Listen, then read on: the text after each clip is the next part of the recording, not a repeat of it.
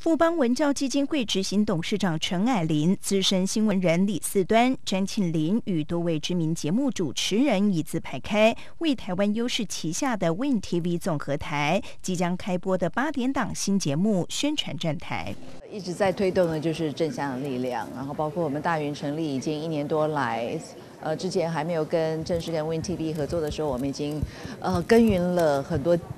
时间，然后也跟这些节目的主持人做了很多的努力。Win TV，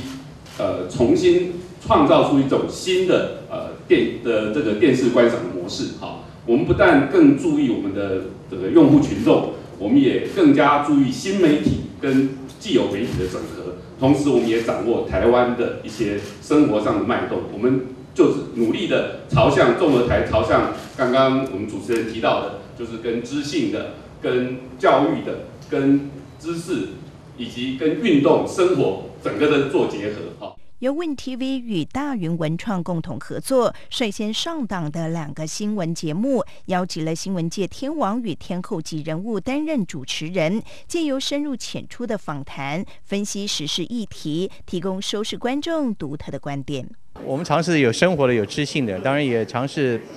跟。公众的新闻接触比较多一点，那新闻的接触，我们我们不追时效，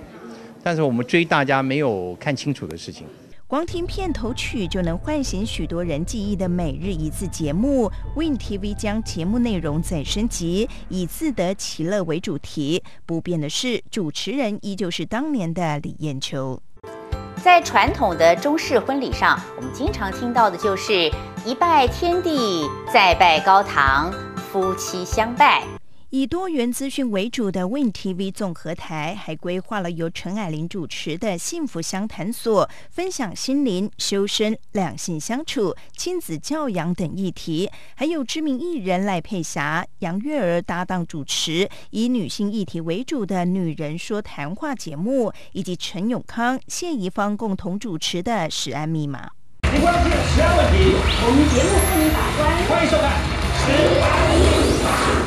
这丰富的生活类型节目，Win TV 综合台也将转播拉米狗桃园的主场比赛，搭配三种不同类型的体育赛事分析节目，让电视机前的观众能够随时掌握体坛最新动态，也能借由各类型的节目内容增加生活乐趣。记者综合报道。